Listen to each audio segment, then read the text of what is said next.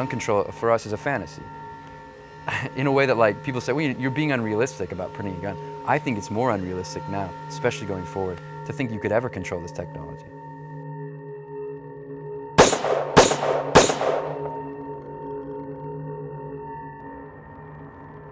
2012 was a bloody year in America, one that saw 16 mass shootings in 15 different states. The violence led Helen O'Neill of the Associated Press to dub it the Year of the Gun. It all came to a head on December 14th in Newtown, Connecticut. Yeah, these units in the pool, I got uh, bodies here, but uh, getting everyone's. That morning, 20 year old Adam Lanza entered Sandy Hook Elementary and killed 20 children and six adults before taking his own life. In the hard days to come, that community needs us to be at our best as Americans, and I will do everything in my power as president to help. In the wake of the tragedy, President Obama announced 23 executive actions meant to curb gun violence. Included were universal background checks, as well as bans on assault weapons and high capacity magazines. The only thing that stops a bad guy with a gun is a good guy with a gun. In defiance, the NRA and other pro gun activists stepped up campaigns that directly oppose any new gun control regulations. In the midst of this political firestorm is Cody R. Wilson, a 25 year old graduate student and self described crypto anarchist. Cody is trying to put an end to the gun control debate with 3D printing. As one of the key figures in the Wiki Weapon movement, his goal is to produce and publish a file for a completely 3D printed firearm, one that anyone can download and then create with the right tools. He does this under the banner of his Austin, Texas based company, Defense Distributed. 3D printing, or additive manufacturing, works like this a computer aided design, or CAD file, is created. That file is then sent to a 3D printer, the printer then builds the object in the CAD file by starting at the base and applying a series of layers. At the end of the process, a 3D printed item is born. So, how will the ability to self manufacture untraceable firearms affect the gun control debate? Motherboard traveled to Austin to get Cody Wilson's perspective.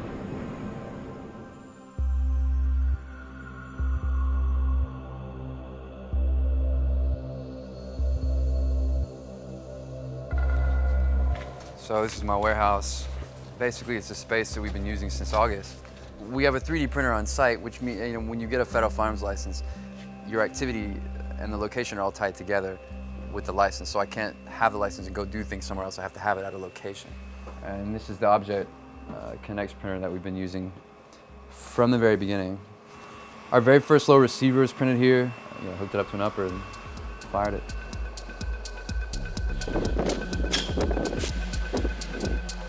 So the project begins and no one will listen to you.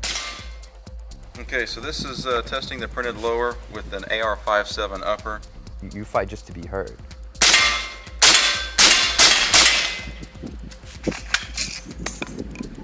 You break it?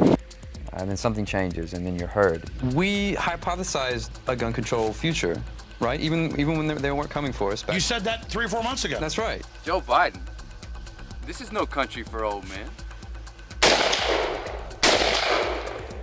We really don't think it's a stunt, man. I, I think the state's now making it easier for us to prove this point, whatever this permanent assault weapon ban is going to be. How's that national conversation going? Is this guy a hero or a villain? That's a good question. By Defense Distributed in Austin, Texas. My partner, Ben Denio, the guy who basically came up with the idea with me, we were on the phone and Ben was like, you know, we could be like arms manufacturers. That'd be cool, right? And like, yeah, you know, what about 3D printing? You know, and at that point we weren't aware that anyone had done it or, or was trying to. And I said, you know, like, you know, if we could print a gun, uh, other people could do this. Like, what if we gave it away? You know, open source style. You know, what would that mean? And we realized, wow, like this is really attractive.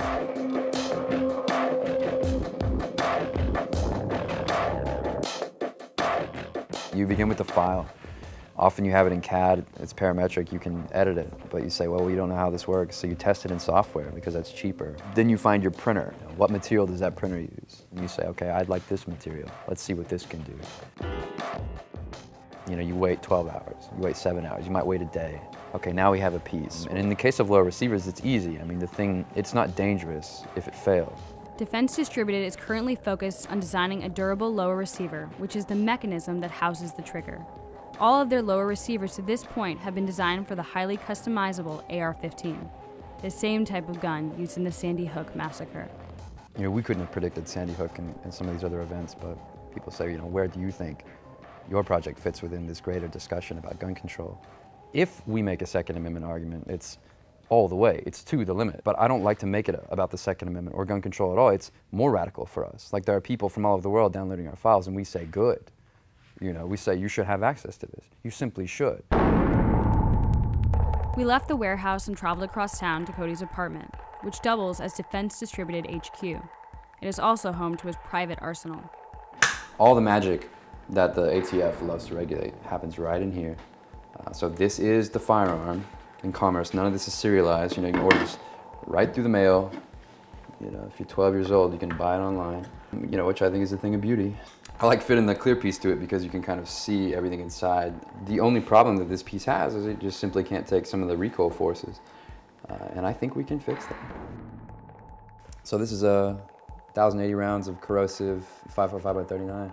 What's great right now about America is you can buy ammunition online, you know, right? And this is post Sandy Hook craze ammo I found, good deal. The question that I hear a lot is, well, why does anyone need, you know, an ammunition clip from more than 30 rounds? you know, or 30 rounds. Why does anyone need that? Don't, don't you know they can do all kinds of, of harm with that? Why shouldn't we limit their reload times? But I think there's an error there, and I can like demonstrate it in other ways. Well, why does anyone need two houses? Why does anyone need to make more than $400,000? You hear it every day. It's just a, a kind of dim view of human spontaneity. Like, because we're so free, everything must be prohibited. I've only let like one other crew up here. Canada Global News, just because they're so just like the terrorism, like they're just so terrified by it.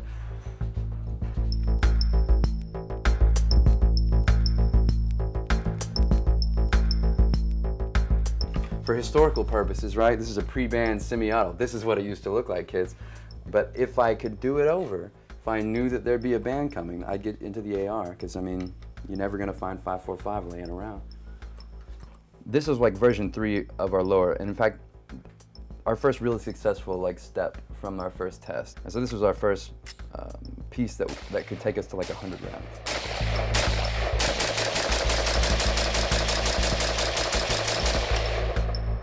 And like the design of the AR system allows this. I mean, people have carved lowers out of wood. You know, this isn't, we're not trying to say like, oh, you know, here it is. We're trying to prove a point. They're like, look, you can print this out of plastic. And just to take the New York Times point specifically, you can do this in your bedroom. You know, it's to prove this political point that, look, yeah, gun control doesn't mean what it meant in 1994.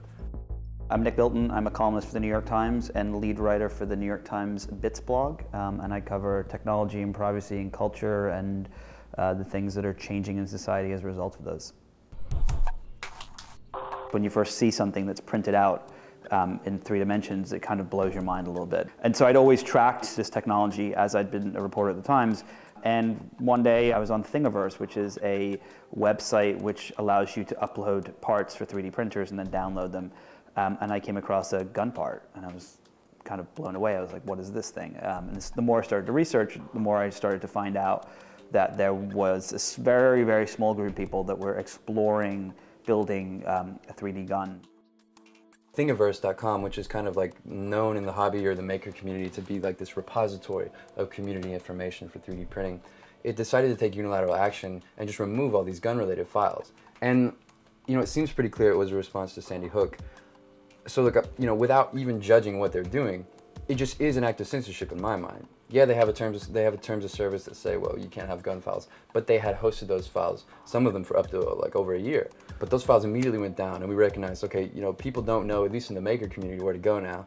So we decided to launch defcad.org and hosted all the files that they took down. And then since then, people have now doubled uh, the files that we have, just sending us files. I, I get files at least once a day, you know, sometimes more.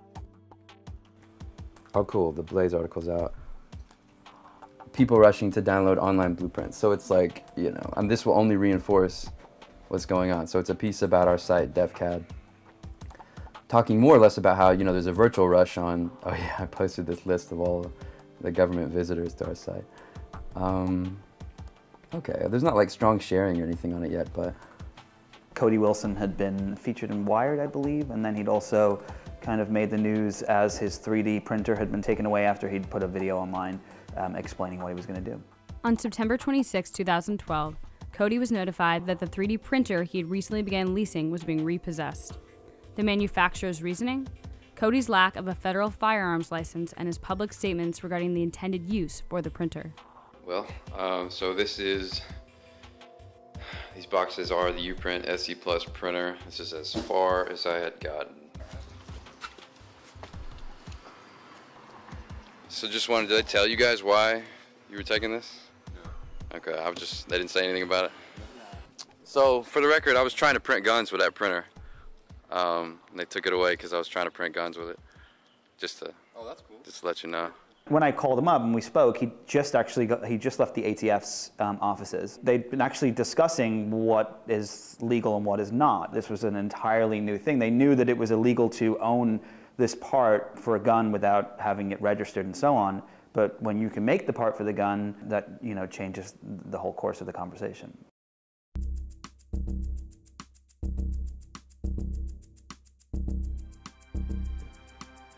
Okay, that's the best way to, talk about it. This whole piece, you know, begins from an IGES file that can be CNC milled into like a, you know, a metal receiver. It's, it's just not built for being in plastic. So when we had fired our first one, we noticed a lot of give in the back of the piece. It was bouncing, it was flexing, and then the recoil of the gun tore right through uh, this buffer tower. So we doubled the thickness all the way around. And we thought, you know, even, even marginally, that improves the strength, especially in the Objet material we were using. I'm kind of out here with only two or three people helping in Austin, we concentrate our efforts on lowers and like I'm just just now starting with magazines. Uh, in fact, the whole operation has like pivoted. We've tooled, I've got like four or five guys, really all the people that I know are talented in SolidWorks, working on high capacity magazines. It proves the point much better than the lower receiver does. Um, you can't ban a box and a spring. This is a Colt M16, a printed high capacity magazine.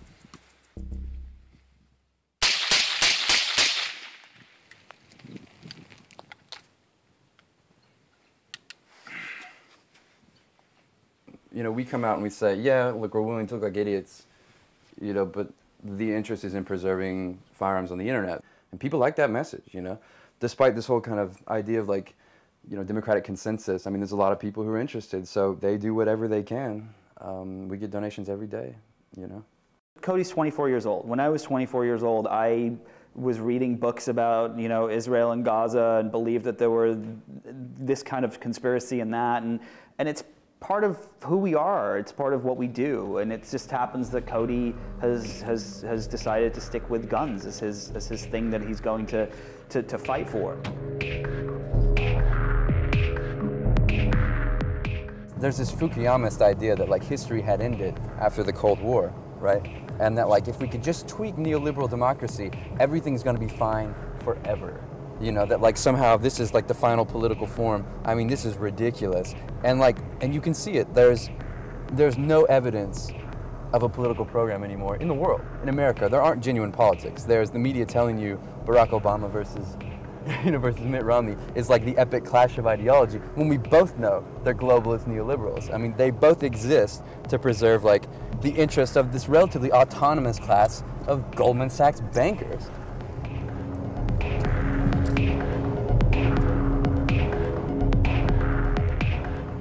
You know, he believes that he's, he's doing the right thing and that, that he is kind of perpetuating this, this, this kind of technology and, and, and looking at what it will be.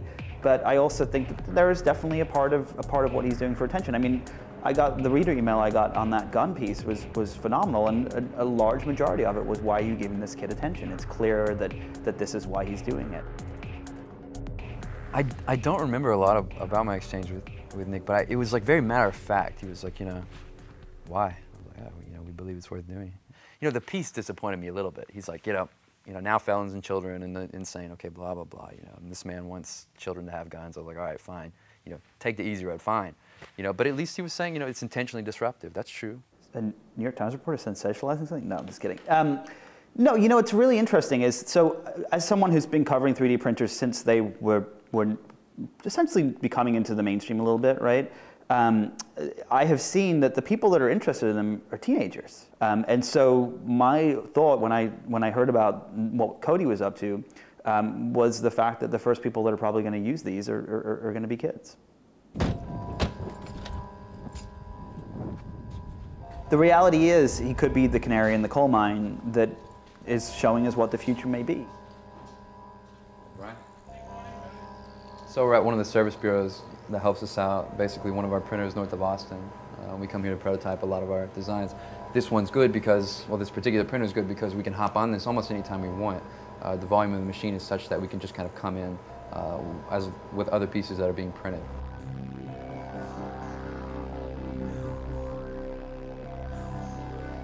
I truly do believe that in the next decade, the, the majority of Americans will have a 3D printer in their home. I truly believe that. Um, they were printing out cups and plates and, and furniture and all these different things. And some of those people will be printing out weapons with that. And I think that that's something that we should be talking about now, not waiting until it happens um, a decade from now.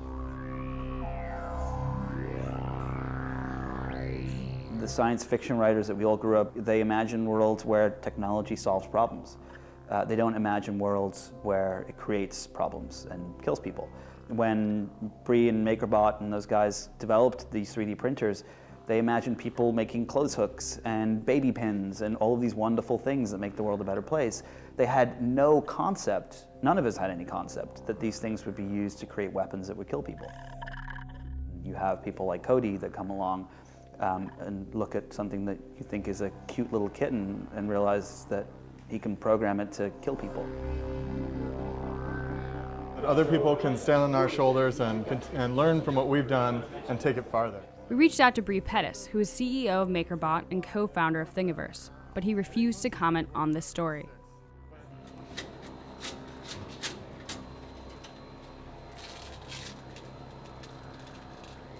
Like removing Velcro. Technology always moves quicker than the law. So you know, it was six years before Facebook was actually held accountable for all the privacy things that they'd done um, by the FTC, right? Um, six years and a billion users um, before the FTC actually caught up to, to the things that they'd done. And this is happening now with 3D printers and guns. I've, I've read a lot of the criticisms, the back and forth in the maker community and in the tech community about, well, you know, 3D printing is like desktop printing. You know, no, it's not. It's nothing like it at all. And it's not going to be the same. And, you know, who can know? I, I do see how there's materials like carbon morph coming out. There's, there's complex materials coming out, even for cheap printers in unexpected ways. And I, I think if complex materials can keep being developed for 3D printing, it is going to be what some people are saying about it, a, a, a, real step forward. Some people are willing to run all the way with it. Maybe we're some of them. We're like, you know, oh, whole guns, you know. But it's a vision of something, you know. Thank you, man. Oh. That's good. Mm. So here's the piece we picked up. So this is like, I think revision, was it three? Uh, Do you yeah. remember the file? Yeah. It's stained and everything? Yep, this is yeah. a black coating on it, so. Um, that's badass. It's not threaded? Yeah. No. We got this. I got my tap wrench to work finally okay. after the other cool. day.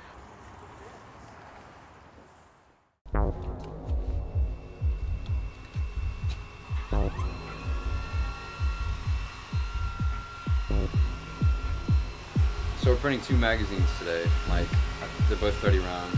And the point is just a demonstration. So one's a USGI mag, it probably won't work very long, uh, but one of these shells I think really will. But anything over 10 at this point proves a point.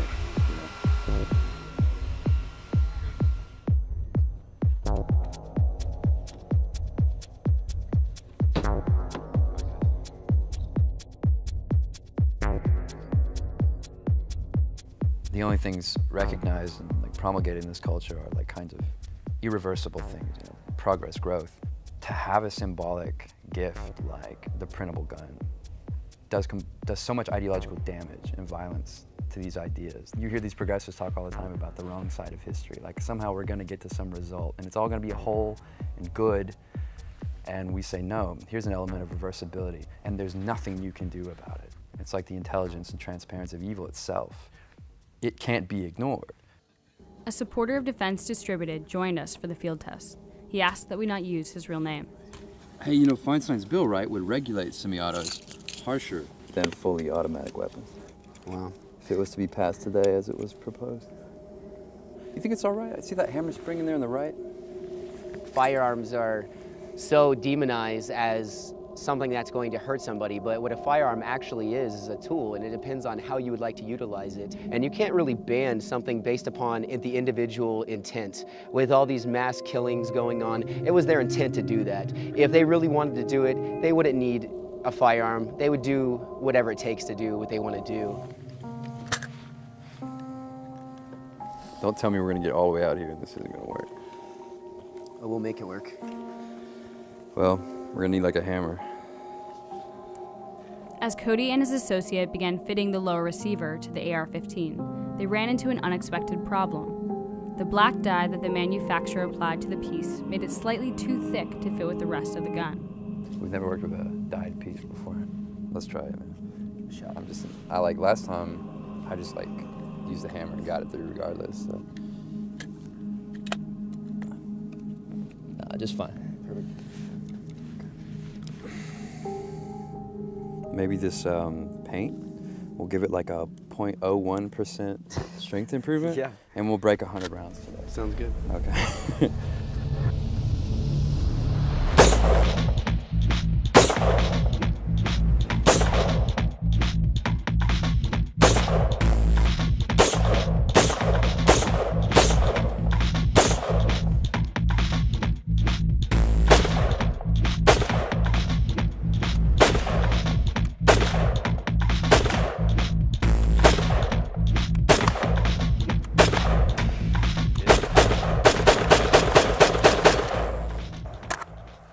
Empty?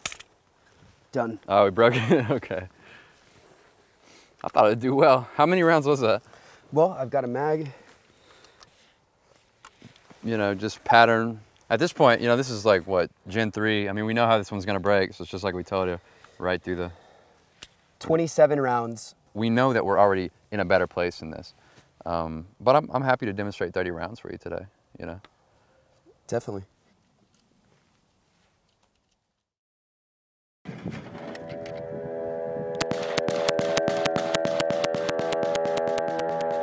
Shortly after we wrapped filming, Defense Distributed posted this video on their YouTube page. It shows the latest version of their lower receiver firing over 600 rounds without failure. When we reached out to the ATF for a comment on the story, a representative told us that there are currently no restrictions on an individual manufacturing firearms for personal use. They then directed us towards their FAQ. Then, on March 16th, Defense Distributed announced that the ATF had approved Cody Wilson's application for a federal firearms license. Cody is now able to sell the 3D printed lower receivers, but he won't. I don't think we're utopians. I think the real utopia is the idea that we can go back to the 1990s and everything will be perfect forever. All we're saying is, no, you can't. You know, now there's the internet.